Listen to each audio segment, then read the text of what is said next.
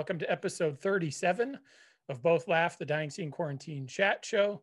As always, I am the host, Jay Stone. And uh, to say that I've been looking forward to today's episode for many, many years is to put it mildly, um, because today's guest perfectly represents my two lifelong passions. Uh, you guys might know him as a founding member of 10 Foot Pole and Pulley, uh, where he's got one of the most distinct, in my mind, voices in punk rock.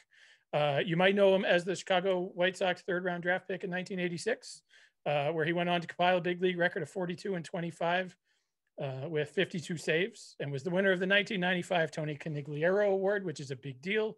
Ladies and germs, Mr. Scott Radinsky, welcome to the show. Thanks for doing this. Hey, thanks for having me. Yeah, it's uh, if there's like I was saying before we started recording, if there's one thing that I'm as big a dork about for punk rock, it's baseball, and baseball sort of allows you to to do that. and it's funny, I I read I've read an awful lot of interviews with you over the years because of your sort of unique spot in both worlds, uh, and it seems like the baseball people always talk to you like the punk rock thing is like this weird mystical thing and then the punk rock people always talk to you like baseball is this weird mystical thing. And it's like no way. This is awesome. I get to do both. Yeah. Um, yeah for sure. Um, especially years ago it was kind of like almost taboo but right. yeah yeah. There weren't many punk rockers in baseball. There weren't many rockers in general. I think when you think baseball it's like country and good old boys and pickup trucks and stuff like that especially the last i don't know 20 25 years or so. Um, but there weren't many punk rockers in baseball, were there? Uh, no, there wasn't hardly any at all. Um, I think over the course of my whole 30 some odd years in professional baseball, I might have met one or two guys, but yeah, very far few between. Um, I know when I first started, it was like what you were saying, it was a lot of hillbillies with that yeah. stereotype, you know, ah, kill your mom, kill your dad. And it's like, yeah, yeah, that's what it's, that's what it's about. But right. Um, yeah, no, not, not too many there's a few rock and roll guys, Blackjack McDowell, for example.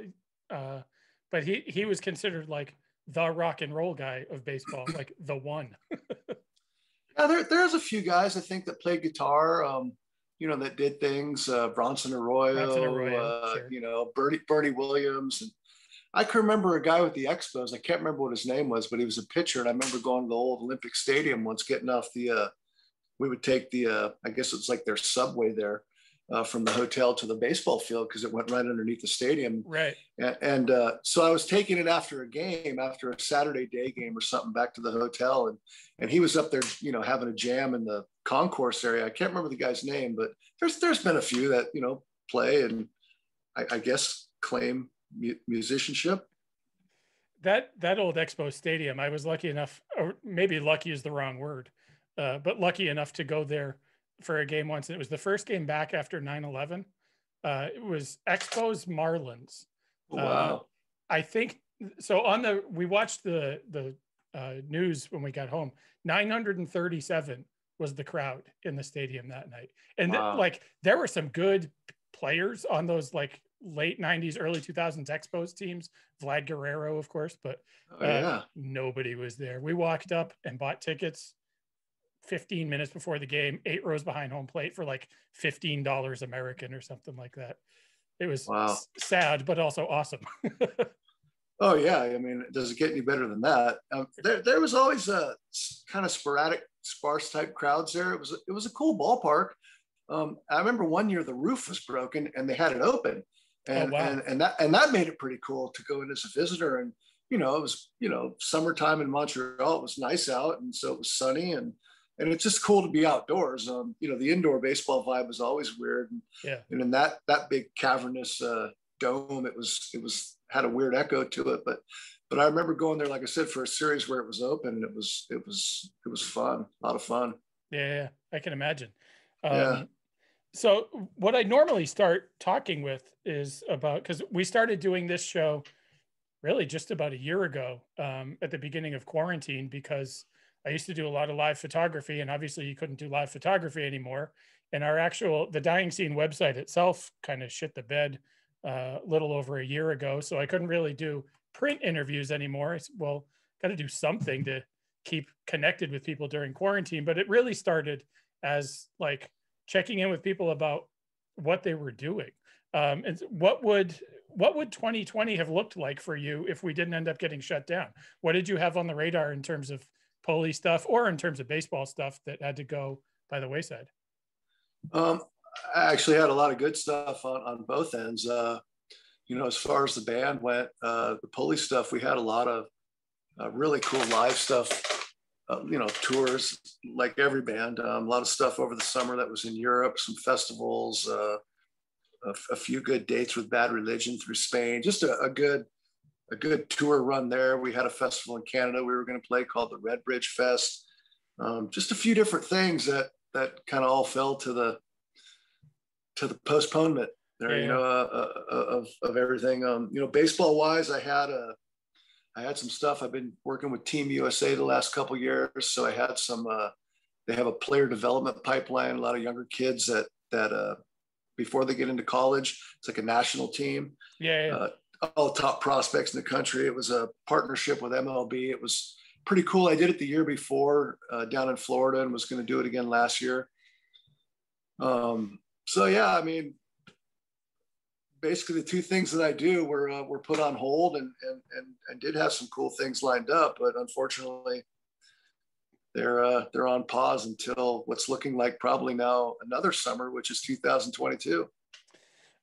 How quickly did it sort of dawn on you that uh, this wasn't going to be? Because I know for us at least, it seemed like things were going to be canceled for like two weeks. That was sort of the big thing. Like everybody stay home for two weeks and let's get through this, and then you know maybe over the summer uh, things will open up. And then obviously by May, it was like, well, maybe in the fall things will open up. And then by the summer, it was like, well, maybe in the winter. so it just kept getting, yeah, the can kept getting kicked down the road. But how quickly into lockdown did you guys start to actually cancel stuff and and just like indefinitely postpone stuff? Um, we had a, a, a show here booked locally. It was sometime in March. It was uh, local scene here. We, we call it Nardcore.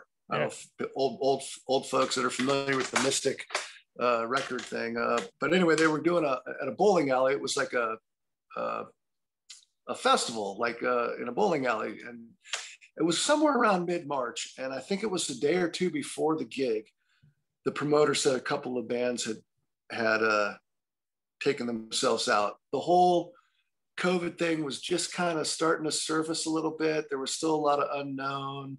You know, you heard talk about it, but you didn't know what was going on. And so I want to say it was the day before, and there was going to be like one band that was going to play, and the rest of the guys in my band said, "Ah, we don't want to play. Yeah. It's not going to be any good." And so we canceled that. And I think somewhere within a two-week period, for me personally, somewhere around the first of April, I know when like the NBA shut down and then right. MLB shut down, that for me was like, okay, for those type of money making corporations to shut down midseason, right. this is for real. This is real. And um, I, am an I'm an optimist for sure. I, I like to be positive, um, but I also have a pretty good feel on my gut. Yeah. And and um, I, I, just felt like somewhere in April, I was like, well, we're not doing anything this summer. And yeah. the word I was getting over in Europe, which is where we had stuff booked, wasn't looking too good. And they were trying to postpone until the fall. And then I started thinking to myself, somewhere around mid-April, like this is this is a wash. And um, and we started focusing on on on basically on 2021 and and um, unfortunately, most of that turned into a wash as well. And right. like I said, not not trying to be the pessimist, but but even early this year, I had my doubts about this summer. I, I just as as much as things got postponed and there was all this optimism and vaccinations and everything, it's still going to take a long time for for things to get back to normal, especially in in what we do. You know, we're not a sit down theater type uh, right. you know out you know band and or playing outdoors. So you know to get into a small sweaty grimy club it, it's going to take a while for uh for us to get back on stage i think. Yeah we picked the wrong scene.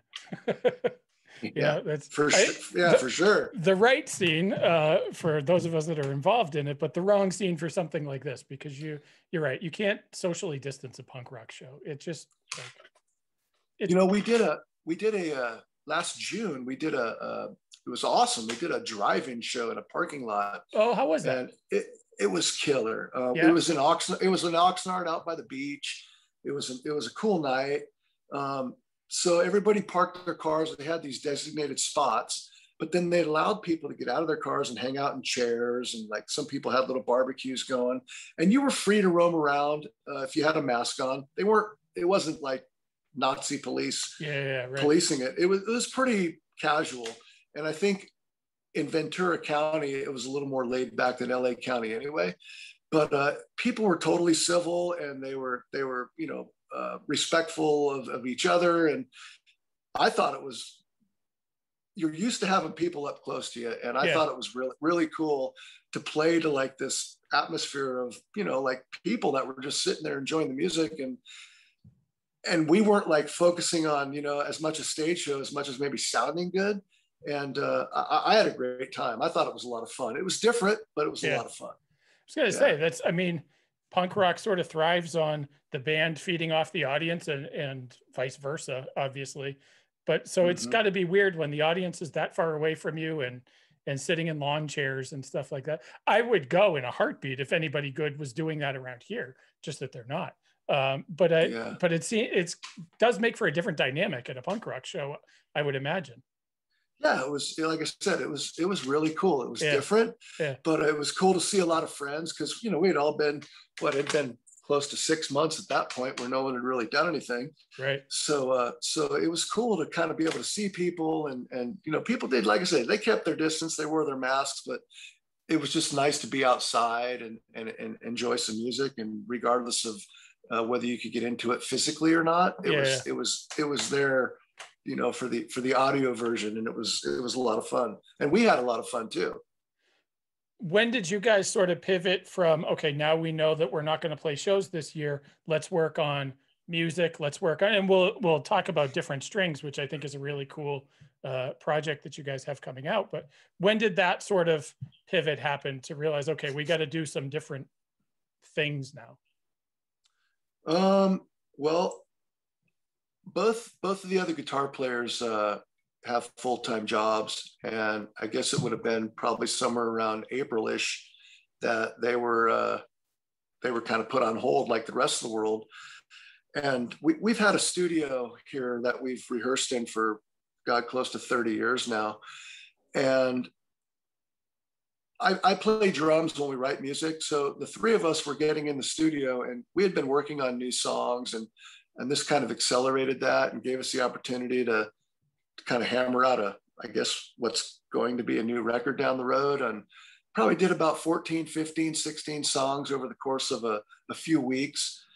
And then uh, we were uh, we were asked to do a, a, an acoustic thing. Or actually, what we did was we came up with something we wanted to do on our own, which was we were going to do an acoustic series of each record that we've done. So we picked a, a few songs off the first record, and we started started recording those acoustically and kind of figuring them out a little bit, arranging them, and and I thought it was cool, something different. We had talked about it back in uh, I want to say it was 2003 we were getting ready to record our our last record we did an epitaph called matters and, right. and we were gonna we were gonna do about four or five acoustic songs and they just never saw the light of day i don't know if it was timing in the studio or, or, or how it worked but we'd always had that idea so uh, i guess like i said in april we were we were writing new songs recording new songs kind of were don't want to say we got the album done because it's never done until you finish it, but right. But uh, but we did a lot of writing. We probably did like 95% of the writing. We got a bulk of it done over the course of a month or so, and then and then we wanted to start this other project and do this uh, this acoustic series.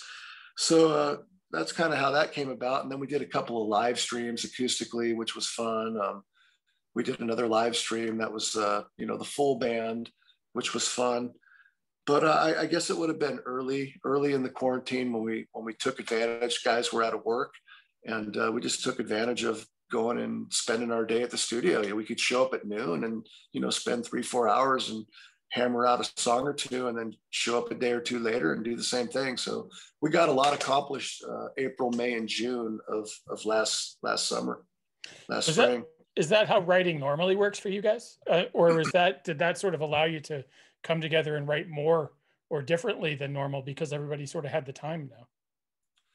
Uh, for, to have that many members, uh, yeah, to have the time, yeah, it was it was definitely uh, it was different. Um, a lot of times, uh, our guitar player Mike and myself will we'll do a lot of the writing, both musically and lyrically, and um, and then you know we bring it to the studio, and the rest of the guys throw in their parts. We kind of arrange a song from there, but you know we'll have a little bit of a foundation. Um, sometimes someone will come up with a song completely on their own, walk in and go, "Hey, check out what I have," and, and um, it, I mean it's it, it, it's varied, but but this was a, an opportunity for for us, I guess, to have more of a consistent flow where we knew we were going a few times a week. We almost had like a, a weekly schedule and a time, yeah. and and it was cool. It was like not a job, but it was like it was an outlet because we didn't have anything else going on. So it was cool. It's good to have that relationship 25 years into a band too.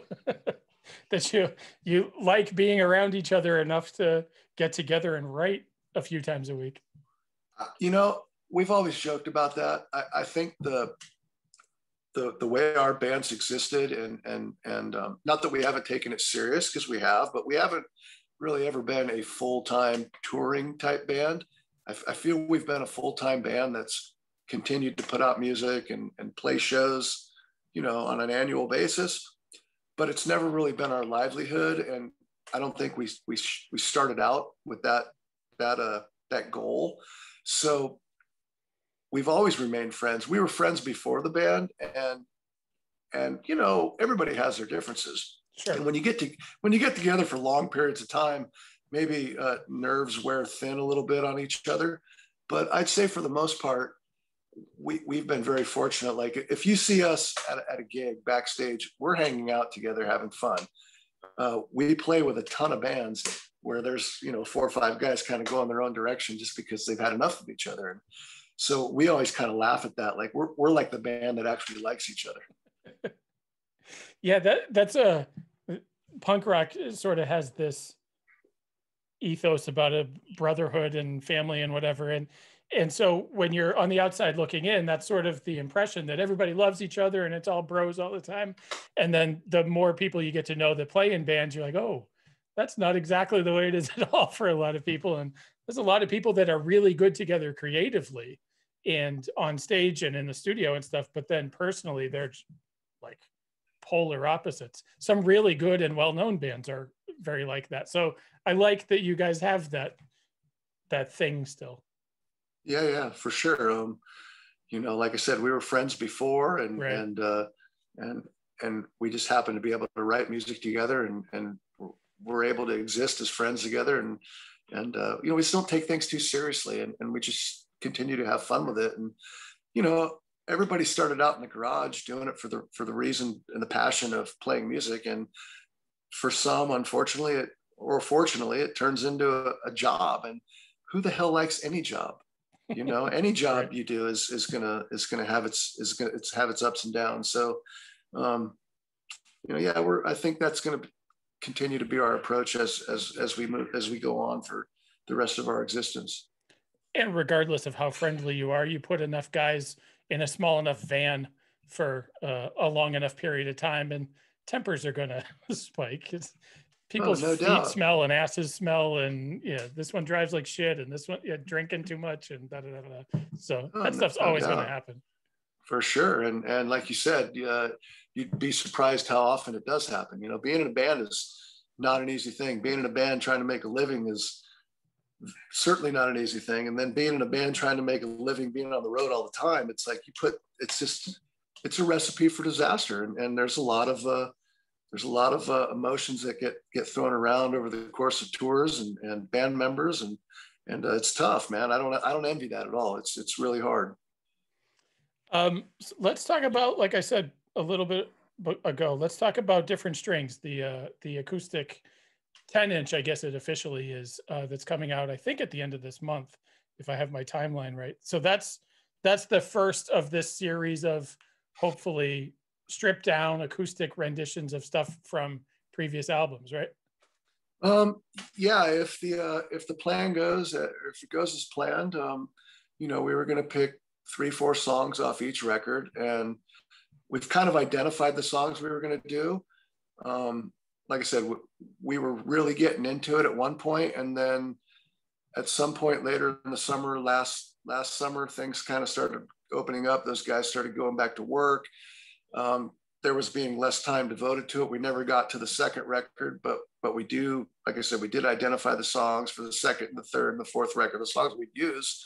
Um, and then other things started happening. Um, we started getting involved in re-releasing uh, other other records that had never been put out on vinyl. We released a couple couple of records through a company in Canada, um, and then and then the uh, the acoustic thing came, and we're going to release that with SBÄM. And um, I would like to think that we will accomplish what we wanted to do, and and and knock out the other the other records. It's just a matter of time now when you say you identified the songs on the other records um, to try to do acoustically, have you played around with acoustic?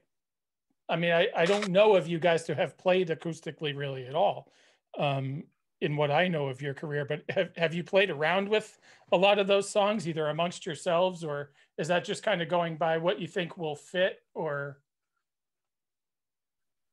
Uh, well, a lot of the songs are, are are written acoustically to begin with. Okay. Um, and when I say identify, it's like some of them are impossible to play. Yeah. Acoustic, acoustically, you know, it's just bar chords thrashing throughout the fretboard, and it's yeah, just it's hammering away. Um, but so the ones that like don't have a whole lot of like funky picking and they can be played acoustically, not necessarily all the same style, but uh, you know, with you know real chords and everything, but but just uh, that that have a better flow to them and and than others. And and some of the songs we want to do we try but but they just they're just not acoustic songs you know and and, and unfortunately you can't play every song acoustically no. And and as a band we've we've really never done it um, on stage or live. Uh, like i said we've done a couple of these live streams here recently but just with uh select songs we've we've actually done a whole set of, of acoustic stuff um, a couple live streams yeah. but there there are certain songs we couldn't use. Without like drastically rearranging them essentially uh, just they just wouldn't sound good. It would just be just kind of wailing over on acoustic guitar. Just yeah. it, you know it doesn't, doesn't sound as well. So you know try to put a little different spin on them and and, and give them a little bit more of a mellower uh, vibe to it where you can actually sing over it. So not every song allows you to do that. Does it change the way you approach singing? Where you don't have like the the four on the floor, like everything cranked to 11 behind you. So you have to do a little bit different vocally. It, it was uh, super challenging when I, when I, when we recorded the first few songs, um, you know, we, we all have like our own little home studios. So the guys would, you know, do their guitar stuff. And then I was trying to do the vocals and, and um, I recorded in my closet in my bedroom. And um, I, I just remember being in there going, Jesus, I can't sing. Like I, am not a singer. I've been screaming for right.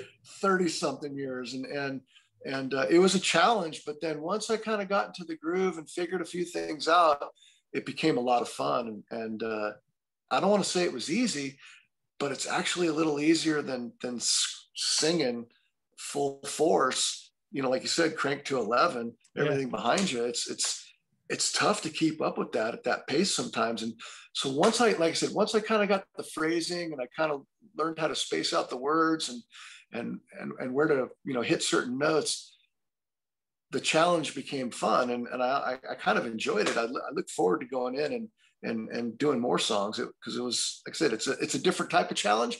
Yeah, it's fun and it allows you to kind of be a different singer. You know, find find parts of myself that I didn't really know existed. Challenge myself. Like you said, you've been a front man for 30 years, but now you have to be a singer. it's exactly. it's different. Yeah, it's different. Um, let's what was the last show you guys played? How how close to the end of uh, or how close to the beginning of everything locking down were you guys playing shows? Uh, we played a show in January with a band okay. called Youth Youth Brigade. Oh yeah. Uh, um, and then uh, it was some time in January. It might have been late January, and then we had this other show that was booked in March which didn't happen. And um, so, yeah, I guess it would have been sometime in January. So is this by the time you guys? Well, I guess you did play a show last summer, the sit down show, but will this effectively be the longest you've gone once you actually are able to get back out on the road without playing? I know you've sort of been off and on the road, but it's been pretty regular. Will this be the longest period of time you've gone without really playing live in front of people? Uh, for me personally, yeah, it would be the longest period of time I've gone since oof, 1983, maybe. That's wild. Yeah, I mean, I've had obviously spurts where it's been six, eight, nine months at times, but right. uh, I've, I've, you know, it's been a consistent thing throughout the years where you know at least a handful of shows every year we'd play doing something. So uh, to not play live, I mean, it, I guess we played in June. That last June, we played that drive-in show. Right. Um, yeah, we're approaching a year. It's definitely the longest period of time for me in in, in my life. You played the was it Monsters of Rock or something like that? The live stream, maybe I don't know. Mm-hmm. October, November is what sticks out in my head. But honestly, the whole last year kind of blends together for me. Anyway, I don't remember when it was, but is that a yeah, that was, got that was in June. Oh, was it really? Yeah, it was June twelfth. Wow. Yeah, yeah. That's got to be a different sort of experience too. Just sort of playing a live stream as a full band, but by yourselves.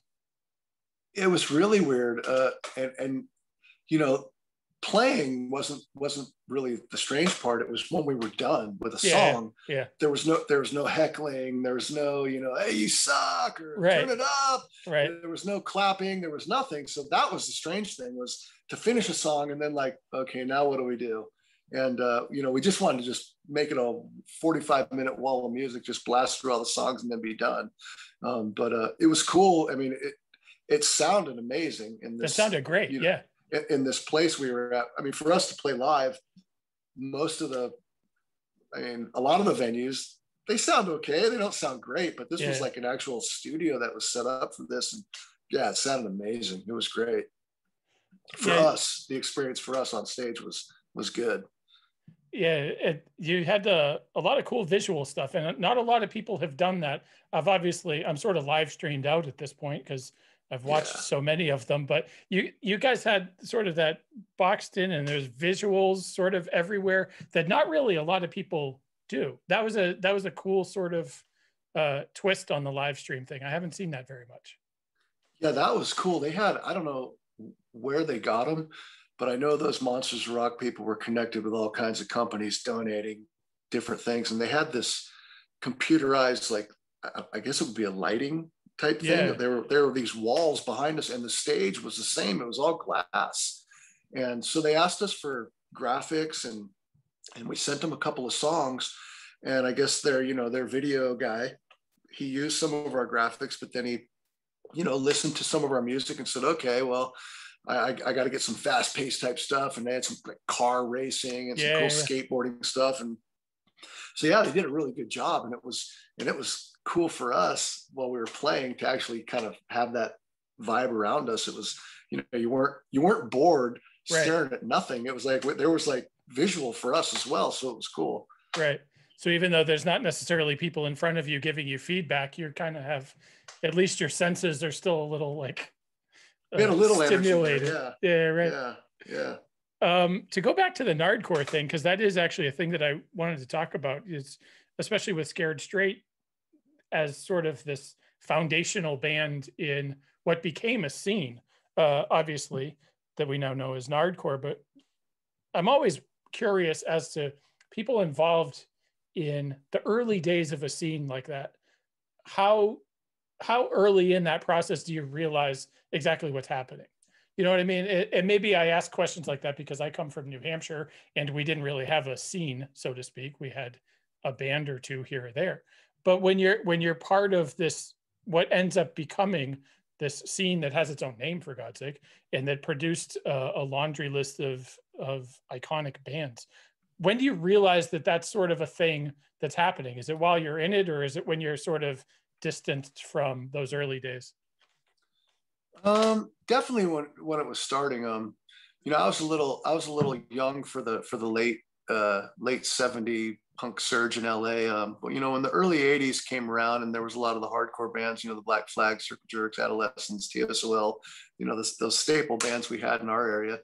Um, we started going to to gigs, and you started meeting people from different communities. There was the there was the the, the, kids from the beach community down in Huntington Beach and Orange County, um, you know, the South Bay people, the Hollywood people, and, and, and there was a group of people from our area, uh, bands like Aggression, Dr. Know, uh, bands that were a little on the on the bigger side. And then when the uh, the BYO comp came out, someone got their head kicked in, and Aggression was on there. It kind of put us on the map. And I'd say they were probably the band at the forefront of the whole nardcore scene. Yeah. And um, and uh, when we started going to gigs in other areas, you started uniting with like those local people just because you were from that area. And of course, in LA, there was always violence. And so, you know, it'd be the South Bay against this or LA against that. And there's all the other different types of gangs. But then locally, we had our own little cool thing going. And we were just far enough from LA.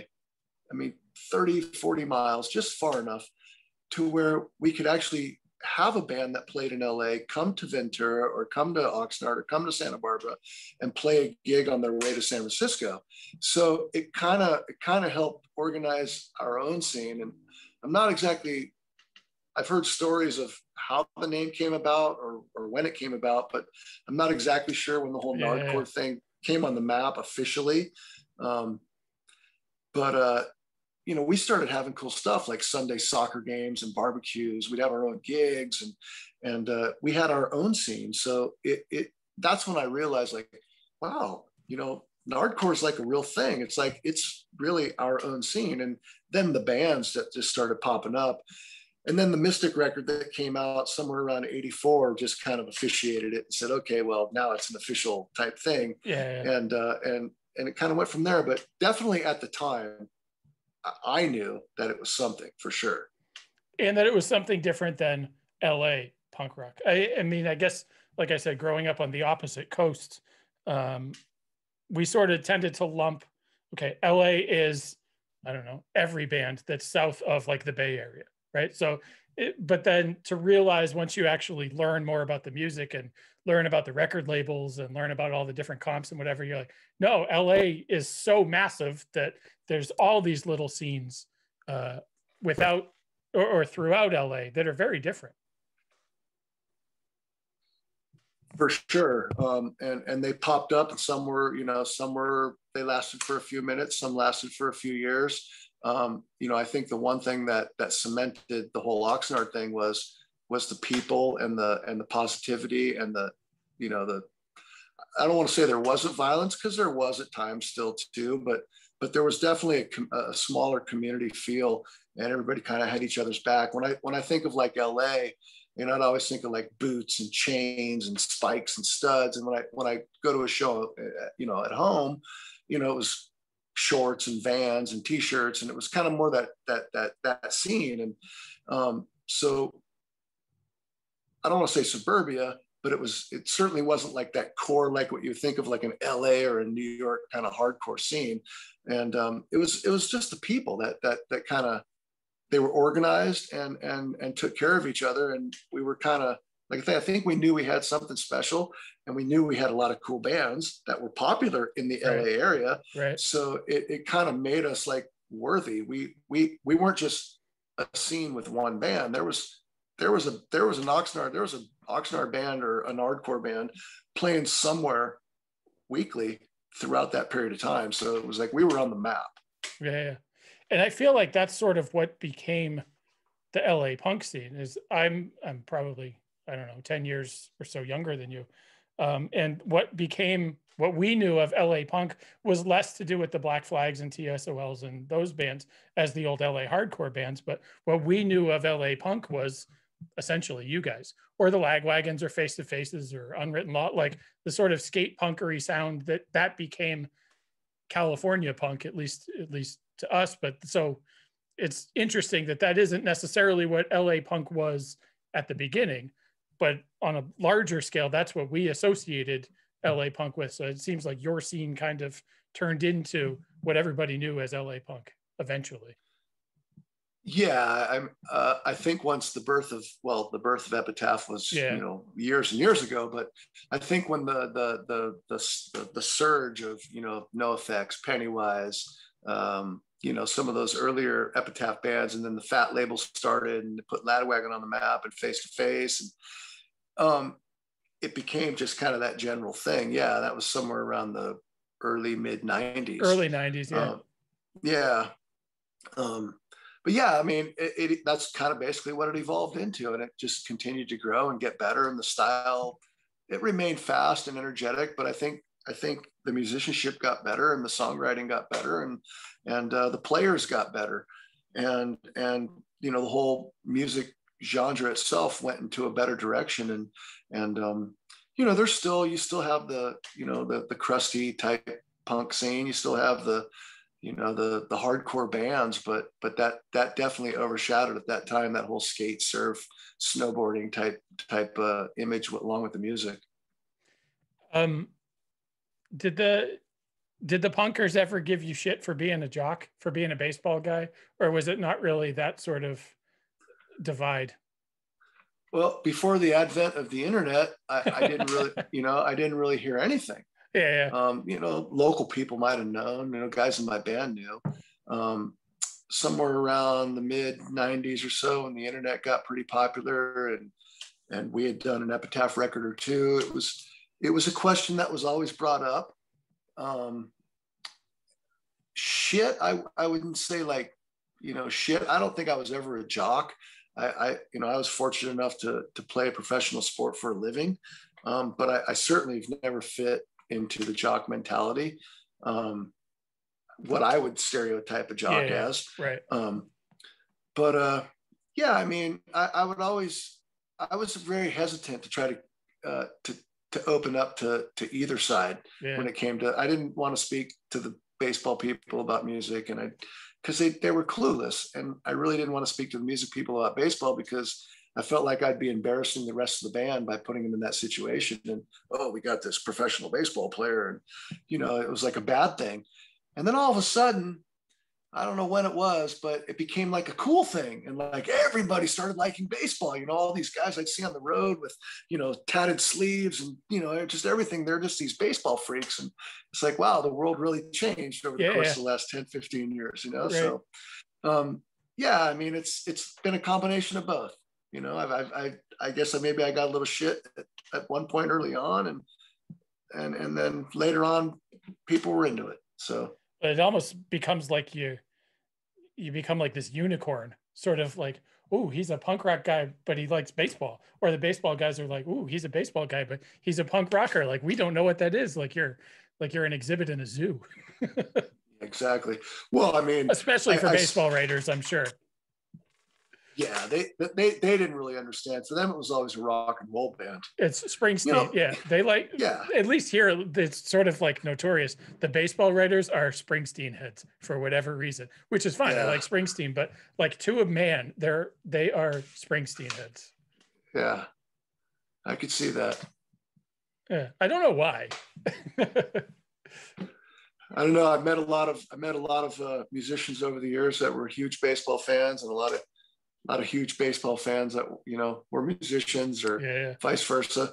You know why they all kind of want to do their own thing. I, it's just funny. Times have changed a lot. You know, I would have never thought like punk rockers would be playing golf. Yeah, and, right. and you know now you know it's it's the world is what it is now. Right. I guess everything's okay.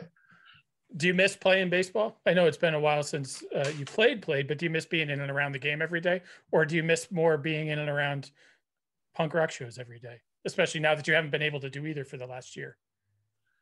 Yeah, I mean, I, I miss I miss both. Um, I, I've I've stayed active literally in both, just not, I guess, publicly.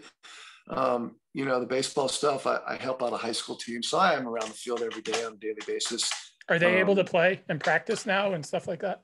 Yeah, they're playing and they practice, and um, there's a wood bat collegiate team out here in California, similar to the Cape Cod League. Yep and um, I'm going to do a, it's like a five week season. So we have like college kids that are come over from all around the country. Yep. They put them put them up with host families and and uh, it's a Southern California type thing. We go from Central California to Orange County. I think the travel is like two hours, and it's a you know six days a week baseball. You play home and home and away. Um, and then I think they have Mondays off, but it's a short season. It's like five weeks, so that's going to start for me uh, somewhere around mid June. Um, That's I don't great. know what the pro. Yeah, I don't know what the protocols are. I'm sure we'll be wearing masks. We wear masks at the baseball field now at the high school. Um, and then you know, on the musical side of things, uh, I'm I'm thankful that we have these these bulk of songs that that we wrote, and I get to rehearse to those all the time on my own. Um, you know, and and then uh, we've we've kind of got these releases coming out, which kind of keeps me active in things like this. Uh, you know, doing podcasts and interviews Yeah. and stuff. Um, but uh, yeah, I mean, we have some shows booked uh, later in the year in October, November, and I, I feel pretty confident that they're going to happen. Uh, you know, we'll see um, if things keep trending in the right direction. I know the stuff we had overseas is probably definitely. I know it's not happening this year, right. um, but uh, like I said, we have some stuff later in the year, and then hopefully it just kind of keeps going from there, and and then I'll get back to doing everything. Um, do you have a timeline for when you hope to get the new material recorded, the actual new new material? Yeah, I think we're we're looking at somewhere around the end of the year, and uh, I personally, I know we have some stuff uh, in May of next year where like we have some touring stuff. So it'd be ideal to have a new release come out, you know, some sometime in early spring, maybe if possible, you know, to coincide with being able to play live, like for real, Yeah, you know. I can't wait because I think uh, no change in the weather for for a lot of people. If you don't know, no change in the weather was Pulley's last full length. It was what 2016, I guess, at this point. Mhm. That was like a sleeper hit to so many people in the scene. Like it was like, oh shit, a new Pulley full length. Like, I don't really necessarily remember a huge buildup to it coming out. It was like, oh, Pulley's got a new album coming out this Friday. It's like, oh, awesome. And that album is so damn good. It's like, oh, Oh, cool. they didn't lose a damn thing off their fastball and never mind uh not to make a baseball analogy but man that that's a good album so it's uh i'm i'm excited for new material Yeah, I'm glad you feel that way. Um, I, I, I don't know if we all felt uh, the same. Um, you know, I know we wanted to put something out. It had been, you know, 12 years at that point. And, yeah and um, you know, I, I, I like a lot of the songs. Uh, I'm really super excited about this this newer stuff. I think they're, like I said, the the fact that the three of us were together, Yeah. and we're kind of kind of dug in that foxhole for you know a good couple months. We really uh, we wrote some good music, and um, you know, I know we were able to structure songs and and it just time to like most of the time I go in the studio, I don't really even have all the lyrics done, and you know, because everything's in such a rush, you know, and you're Yeah, writing yeah. all the way up to the last minute, and and uh, and I'm sure we're going to continue to write music up until the end of the year when we go in the studio. Well, there'll be more songs that come, but but uh, you know, to have like a this bulk of songs, uh, I don't want to say finished, but like 95% of the way there, I feel like we're one step ahead, and and um, it, I'm I'm excited about this. It's going to be good. I, I feel like the songs kind of hold their own, so I, I'm I'm hoping it goes over. i can't wait and hopefully we'll get to talk again then uh i won't take up too much of your i guess it's your morning my afternoon uh thank you for doing this this is uh this has been a lot of fun and like i said i've i've been waiting to talk to you for a long time uh as a longtime baseball fan and a longtime punk rock fan, this is this is the best of both worlds. Well, awesome, man. I, I appreciate it. I've been a super, I've been a long time dying scene fan. And you'd mentioned the the website taking a shit about a year ago. I, I just remember one day, I, it's the first thing I would do every day. I'd be like, you know, dying scene, and it would pop up on my phone. I would read, and and all of a sudden one day it just wasn't there. I was Yeah, like, what what the hell? And then so I went to the Facebook page, and that's kind of been the same, the same yeah. screen forever. I haven't reached out to, to, to Dave yet, but I was wondering like, what, what happened to dying scene? And um, Yeah, yeah, I mean, it's, it's, it's good to see that at least there's some existence of it. it's it's it's a it's a technical thing as much as anything and it's that shit that's way over my head dave and dave lives in south africa now he's got a wife and a kid and a like an important job and doesn't have the same amount of time that he did back in the back in his california days to devote to it and so it's really a matter of hoping at some point that somebody will like land in our laps and volunteer their services to rebuild the site so yeah. between this and the Dying Scene Radio podcast, we're trying to keep the flag, uh, you know, out there as much as possible You're doing so it. the site can I come mean, back. You're doing it. Thank God for that. I know. I'm trying. Yeah.